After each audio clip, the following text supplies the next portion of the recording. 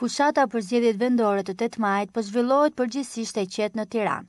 Kandidatët kryesorë Lulzim Basha i kampit të djathtë dhe Edi Rama i kampit të majtë vijojnë takimet e përditshme me elektoratin duke prezantuar dhe platformat e tyre për katër vitet e ardhshme të kryeqytetit. Në garë për Bashkinë e Tiranës, krahas kandidatëve të dy koalicioneve të mëdha, Aleanca për Qytetarin dhe Aleanca për të Ardhmen, është dhe Hysni Milloshi i Partisë Komuniste të Shqipërisë. Intensiteti i takimeve të këtij të fundit është i vogël përballë serive të takimeve që zhvillojnë kandidatët Basha dhe Rama. Kandidatët Rama dhe Basha po zhvillojnë një sërë takimesh në shumë lagje të kryeqytetit, i pari duke kërkuar një mandat të katërt për të drejtuar Bashkinë e Tiranës dhe i dyti me kërkesën për të ndërtuar një Tiranë europiane. Pjesa më e madhe e angazhimeve të kandidatëve lidhet me hapjen e vendeve të reja të punës, përmirësimin e infrastrukturës rrugore, krijimin e lehtësirave në komunikacion me rritjen e hapësirave të vendeve të shlodhjes e të tjerë. Sikurse në hapjen zyrtare të fushatës elektorale në njëzet e pesë maj, kandidati demokrat, ish-ministri i Brendshëm Lulzim Basha, vazhdon të mbajë debatin për kryeqytetin larg ndikimit të konfliktit të gjatë politik mes shumicës dhe opozitës.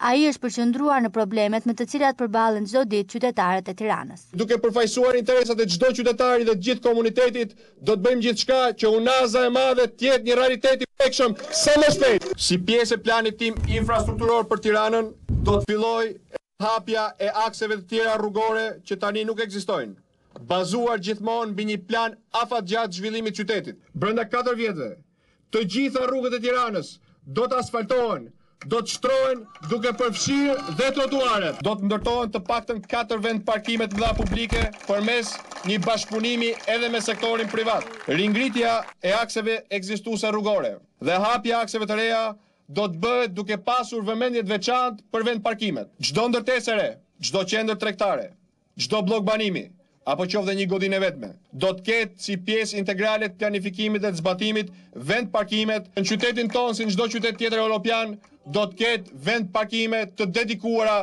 për personat me aftësi të kufizuara. Përveç efekteve të drejtpërdrejta që këto investime do të japin, do të krijojnë me mijëra e mijëra vende të reja pune për qytetarët e qytetit tonë. Vetëm projekti i Unazës së Madhe do të hapë mbi pesë mijë e tetëqind vende pune. Nëse ne zgjedhim t'i kemi të gjitha këto, duhet patjetër të lëmë menjanë betejat politike, t'i përkushtohemi punës për qytetarin, t'i përkushtohemi projekteve tona.